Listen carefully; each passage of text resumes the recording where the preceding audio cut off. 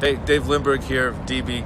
Uh, we're in Quarry Bay today, actually for no particular reason. We just wanted a place to film a little video about VM Sound and their liquid silicon rubber uh, surround material in application for micro speakers such as PC, uh, tiny headphone drivers. In my hand here, we have a 13 millimeter driver.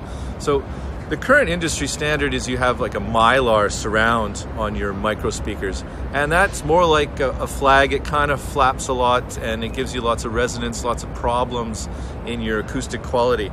So with liquid silicon rubber, what you do is you put the dome and the frame in a mold and then you in mold laminate it all together. So in one process you're bonding and creating a surround that can actually be designed in three dimensions.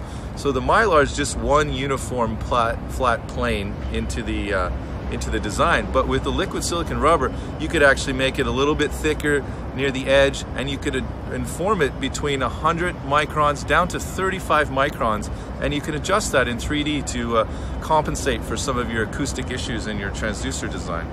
So it increases the yield in production because it de deletes uh, things like glue errors and, and different problems that fall out from trying to glue tiny little speakers together in mass production. It's, it's a big problem, especially in small stuff. So that's why we're attacking in this market space first. So some of the applications that you'll find, I mentioned headphones. So one of the big thing in headphones today is active noise canceling headphones.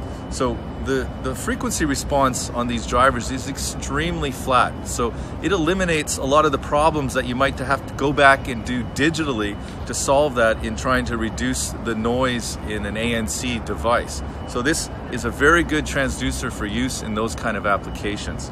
Um, also micro speakers, trying to get more shove out of tiny little things is the goal for a lot of people today, headphones and especially notebooks. As those things get thinner and thinner, there's not a lot of space to, to get a lot of shove and SPL out of your drive units. So this liquid silicon rubber is a really hot topic these days.